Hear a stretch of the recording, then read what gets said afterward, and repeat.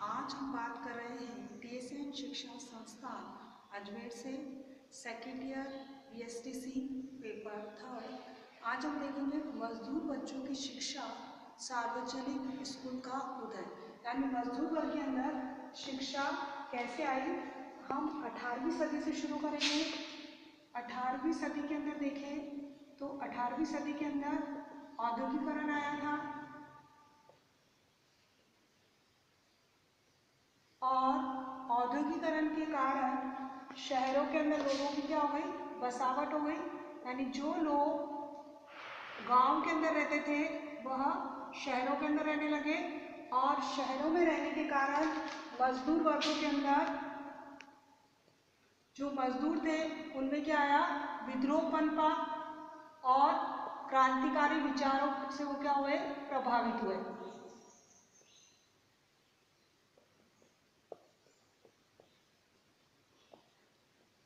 और इसका प्रभाव देखा गया और मध्यम वर्ग जो था, वो इस विद्रोह से क्या हुआ? चिंतित होने लग गया, क्योंकि मजदूरों में क्या आ गए क्रांतिकारी प्रभाव देखने को मिले।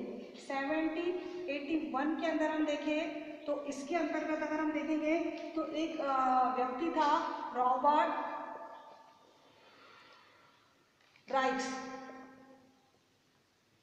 इसने वहाँ के मजदूर बच्चों को देखा, जो कहाँ रहता, जिसने एक स्कूल खोला और वो स्कूल था ग्लोसेस्टर। ग्लोसेस्टर शहर के अंदर इसने मजदूर बच्चों के लिए एक स्कूल खोला।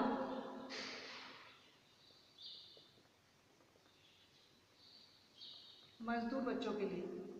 क्योंकि इसने देखा था कि जो मजदूर बच्चे थे वो बहुत अधिक असभ्य थे और इस कारण से इसने ये स्कूल खोला और जहाँ पर ये जो स्कूल था, ये स्कूल ईसाई धर्म से जुड़ा हुआ था और ईसाई धर्म में बोला जाता है कि रविवार को काम नहीं करना चाहिए। तो इसी वजह से ये जो स्कूल थे, वो रविवार को खुलते थे, यानी रविवार को खुलते तो बच्चे कहाँ पढ़ते थे? सिर्फ़ रविवार रविवार को क्या करते थे? अपनी पढ़ाई करते थे। कौन से?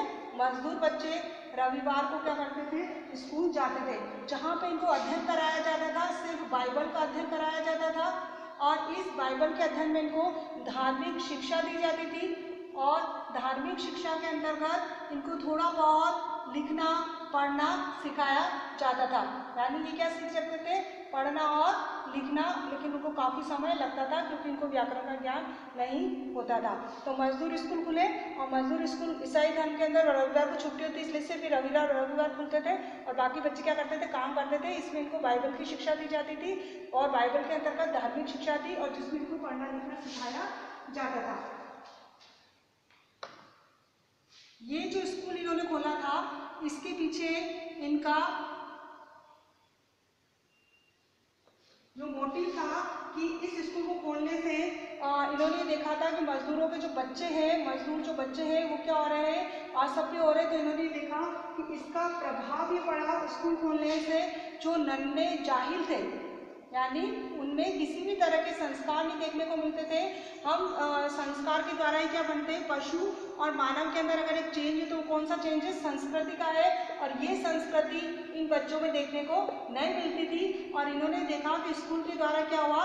नन्हे जो जाहिल थे वो स्कूल जाने लगे और उसके द्वारा उनमें क्या हुआ? व्यवहार में बदलाव देखा गया।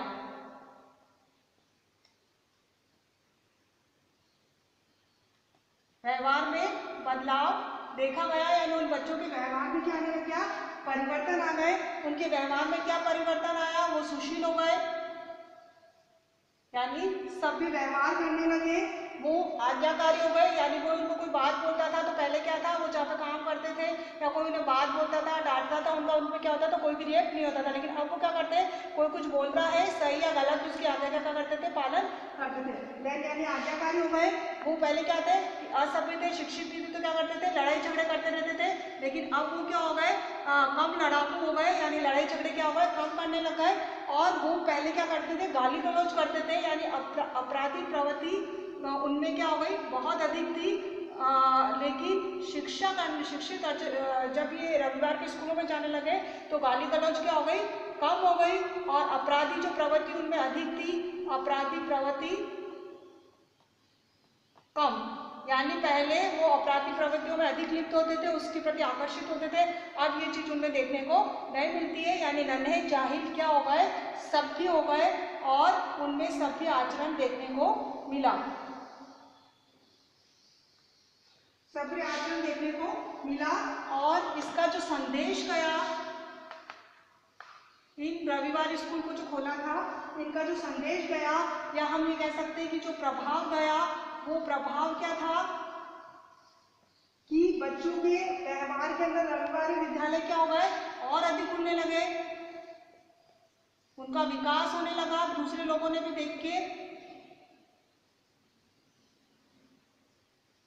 अधिक संख्या में खुलने लग गए और इनकी जो संख्या थी वो क्या हो गई? बढ़कर पाँच हज़ार हो गया था।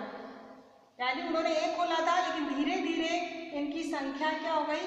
पाँच हज़ार स्कूल खुल गए। और इन पाँच हज़ार स्कूलों के अंतर्गत जो बच्चे पढ़ते थे, दो लाख पचास हज़ार बच्चे वहाँ पर क्या करने लग गए? पढ़ाई करने लग गए, यानी शिक्षा अर्जित करते थे किसके? मजदूरों के। तो मजदूरों के दो लाख पचास हज़ार बच्चे इस स्कूल के अंदर क्या करते थे? शिक्षा लेते थे।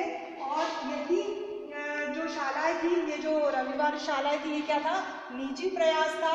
किसका? एक व्यक्ति का। और निजी प्रयासों के द्वारा ये क्या थी? खोली गई थी।